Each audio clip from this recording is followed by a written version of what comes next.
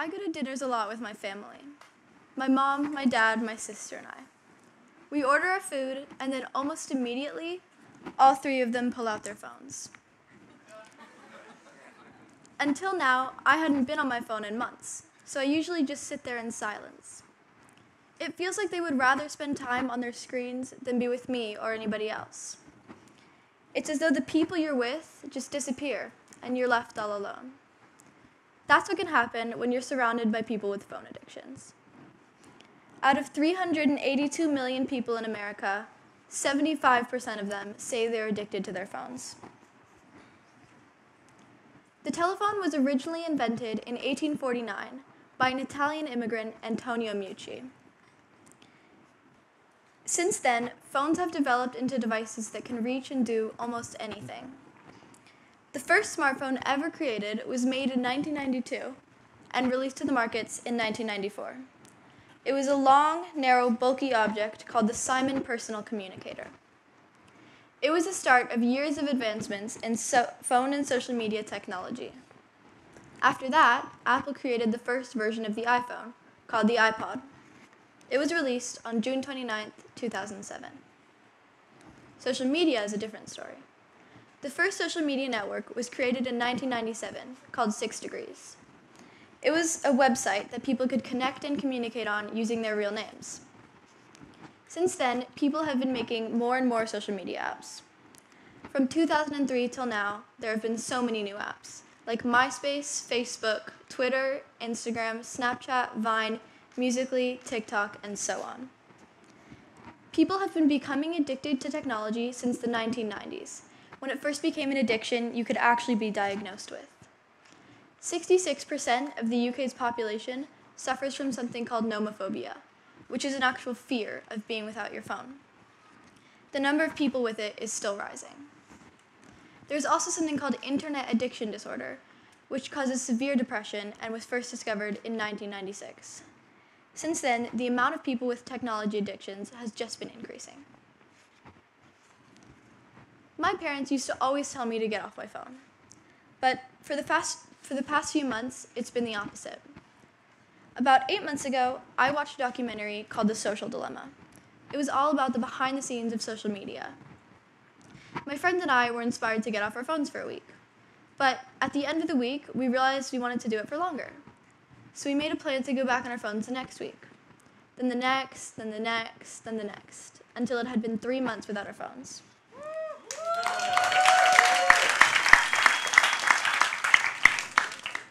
We figured it had been long enough, so we went back on our phones for not even a day. But to our surprise, we realized how much we disliked our phones compared to the phone free world we've been living in. We realized that the bright, 2D world of a phone screen can't compare to the vibrant world around us that we can experience with all of our senses. And so our little experiment continued. I noticed the people around me becoming sucked into their screens so much more. I became aware of how big a part phones played in my family's lives and the lives of everyone around me, and I wanted to learn more about it. I convinced five students from grade 8 to grade 12 to do an experiment with me. Noli, Noah, Tarn, Noah, and Avel went off their phones and social media for seven days, and I had three interviews with each of them. The first interview was at the beginning of the week, sometimes right when they gave their phone away. The second one was in the middle of the week, and the third was at the end of the week when they got their phones back. I also did some follow up interviews a few weeks after the participants got their phones back. But not all of the experiments were the same. One of the pers- first participants actually just quit the experiment not even halfway through. He simply couldn't do it. When Tarn did the experiment, he didn't make it all the way and felt badly and decided to start all over again. Another participant was going to the experiment by just keeping her phone to text people and deleting social media, but she didn't even do that. It's really interesting to watch people's different reactions to this idea, especially having gone through it myself. It showed me how massive the impact of our technology can be in everyone, including me. While working on Quest, I sent out a survey to everyone in middle school. I found out that 60% of students wish they spent less time on their phone. Our phones play such an important role in our lives that some people couldn't even consider the idea of parting with them for just one week. I got told no by quite a few people before I found my five participants. And despite the many positive changes, at the end of the week, I asked each student if they wanted to continue for longer, and no one said yes. I also asked them if they would consider downgrading to a flip phone, and a few said yes, but when pressed, they wouldn't do it. Some of the participants said they would have seen more changes with a longer period of time, or that they wished they would have done it for longer, yet no one actually did. All of them said the experiment really helped them and that they were happier without their phones, and most of them said they could definitely manage without one. But they all wanted them back. So, why, even though we know the risks and negative impacts our phones cause for us, do we want them so much? Almost every single participant said it was communication. They wanted to reach out to their friends, to plan stuff, and to hang out. But without their phones, they found ways to do that anyway. They either reached out through their parents and the people around them, or they used email. One of the participants, Avelle, said that at first she kept trying to email her friends, but none of them would check their email, so she got really frustrated. But then, towards the end of the week, she said she felt she didn't need to anymore.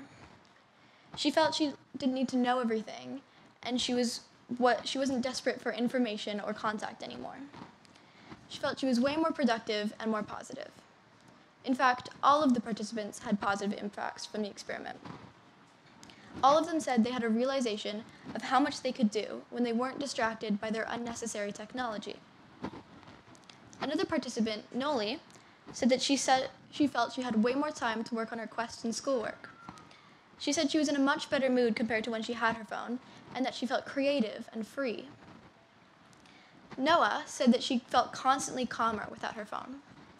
While doing some of my research, I came across a video uh, that was all about how notifications and emails from your technology create ripples of distraction in your mind. Imagine your mind is like a calm lake and every time you get a notification, it's a ripple, splashing that lake and causing it to be wavy and sometimes chaotic. It disrupts your calmness and breaks down your ability to focus. Noah felt calmer because of the lack of people trying to reach out to her and the lack of notifications from it. I decided that I wanted to show what I'd learned from this experiment with anyone who wanted to know more about it. So I created a documentary. I pieced together all of my information, footage, and interviews to create a short 20 minute film people could learn from. I can't show the whole film right now, so here's a trailer for it.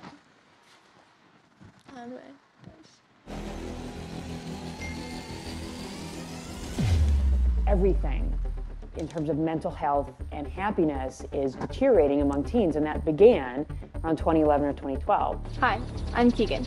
I got five students to go completely phone free for a week. I wanted to figure out how important their phones were to them and how significant the impact would be on their daily routines if they weren't there anymore. The first step in this experiment was finding people who would actually do it. I kind of messed up on the first day because I used it for music. So it took a while, but eventually I got my five participants. Hi, I'm Noli. I'm Noah. My name is Talon Hudson. Hi, my name is Noah. Hi, I'm Abel. They each had three interviews for the week. One on the first day, when they gave up their phones, one in the middle of the week to check in, and one at the end of the week when they got their phones back. I was curious, going into the experiment, what it was that teens use their phones for the most. I usually wake up and I go straight on my phone to kind of see what my friends have texted me. I text people a lot and I go on social media. Useless stuff. Communicating with people and social media. Probably watching YouTube. Mostly like Instagram and like Snapchat. Usually when I get up in the morning, I'm on my phone, or when I go to bed, I'm on my phone. It was a strange new notion for them, and none of them would probably have ever gotten close to doing something like this if it hadn't been for my quest. Would they be scared, excited, or both? Would they even make it through the week? No, I don't think so.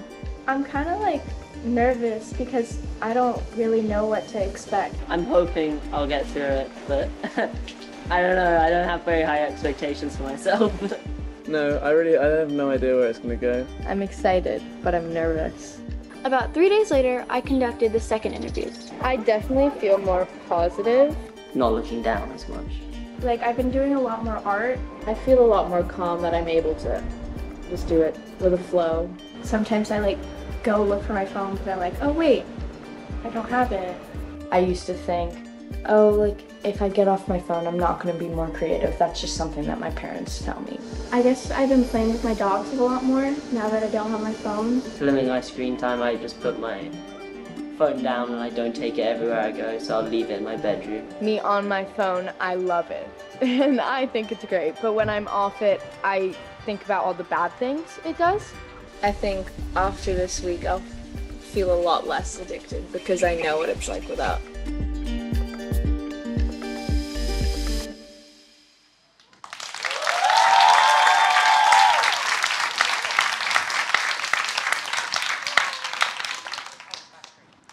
Just going off of your phone for one week can make a difference.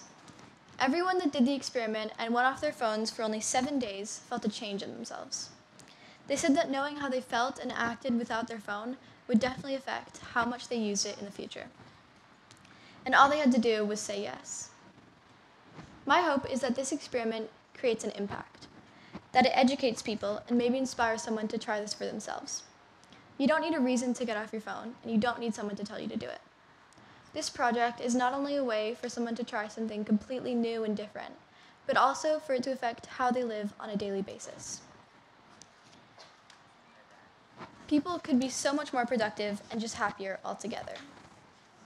One of my biggest wishes for my quest is that it changes the way my family sees their phones, so that they can be present with the people they're with and have a much better time than they would have on their phones.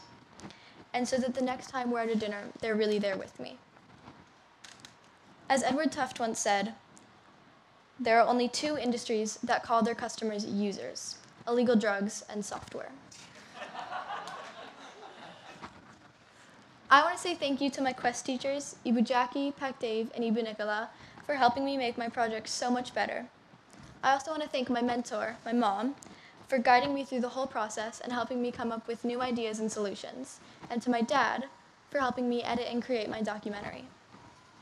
Thank you to my friends for giving me great notes to improve, and thank you to the five participants in my experiment.